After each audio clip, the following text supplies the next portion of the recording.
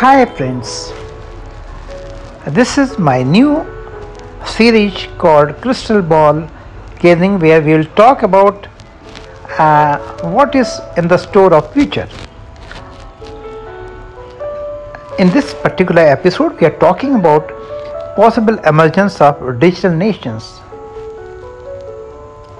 Well, can you see in near future emergence of digital nations where the physical borders will not have much role to play?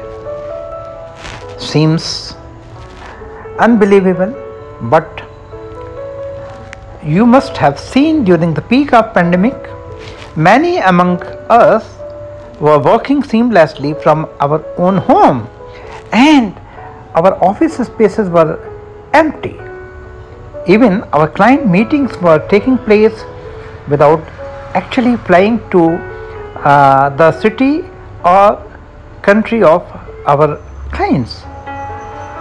So, don't you feel it was a baby step towards living in a digital nation alongside living in a nation state? Interestingly, countries like uh, Thailand sensed the opportunity. They started offering nomadic worker visa to the highly technical people. This resulted in additional income to those countries and low cost comfortable living and working for those from richer nations. But of course, we will need to demolish lot many barriers that still hinder formation of a truly global digital existence. Digital has reduced the effect of national borders on many aspects of our life. Transcontinental meetings on Zoom, international e-commerce and the ability to stream media from virtually any jurisdiction show how outdated much physical nation state bureaucracy is now. States hold the keys to many of the tools that facilitate economic life.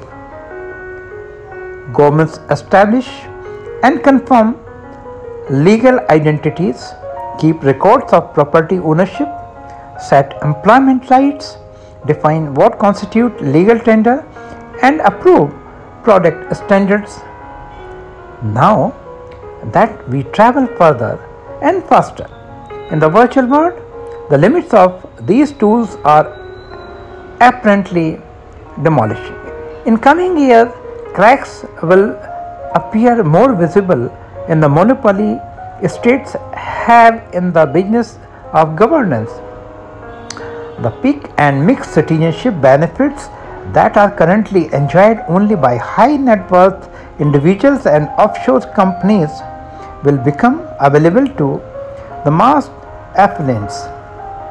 A new breed of technology enabled firms will create a kind of digital state which gives its citizens rights, tools, and the services needed to work, live, and consume more flexibly where they want in the digital as well as the physical world. Members of these new virtual states operated by private companies will be able to set up legal entities for themselves in one country, reside in another and pay themselves a salary in a third government. For these states will create racial versions of the credentials people need to prove their identity, property rights, vaccination status or residency in a new online world. In turn, they will create new market spaces that their citizens can visit to access digital goods and services that are not licensed or approved in the physical space in which they reside. These will be the new offshore virtual free ports of the digital age. Drawing lessons from semi-corporate states which such as the UK territories, these digital states will be set up not by existing tech companies but by new entities backed by private equity and sovereign investors with the power to negotiate contracts with corporates and the countries, secure work and residency benefits for their citizens, and set terms of trade. Traditional states will have to grapple with increased tensions between those who are able to take advantage of digital citizenship and those who cannot, even as an eroding tax base gives them fewer tools to do so. This will be a, big challenge to nation states. They have to address the disparity between a physically entrenched nation state and the reality of digitally integrated world. Those nations who ignore this challenge might stay behind. In fact, nation state will have fewer choices but to grasp the nettle.